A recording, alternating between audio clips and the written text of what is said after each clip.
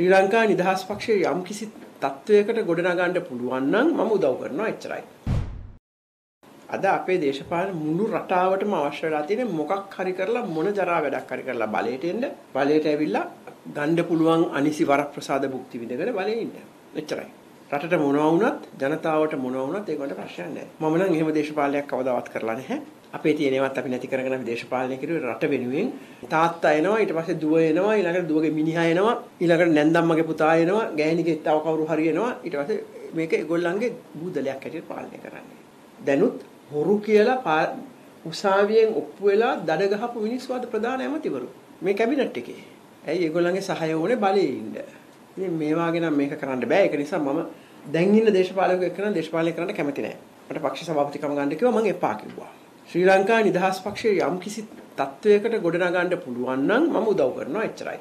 දැන් මේ කියන ලොකුම බොරුව තමයි චන්ද්‍රිකා මේකට ඇවිල්ලා තියෙන UNP එකට උදව් කරන්න.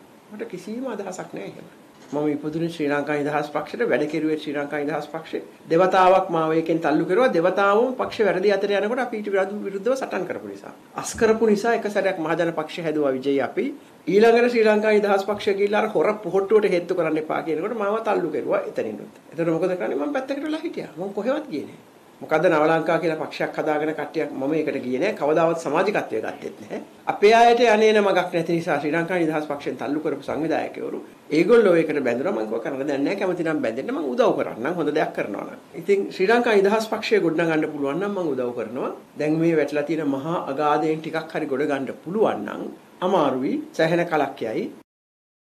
ඇත්ත කෙටියෙන් දත්ත වැඩියෙන්. සයිබ අවකාශය කළඹන වුවත් සලකුණ නිවස් ෆර්ස්ට් YouTube චැනලය අදම සබස්ක්‍රයිබ් කරන්න. නිවස් ෆර්ස්ට් ජනතාව සමඟ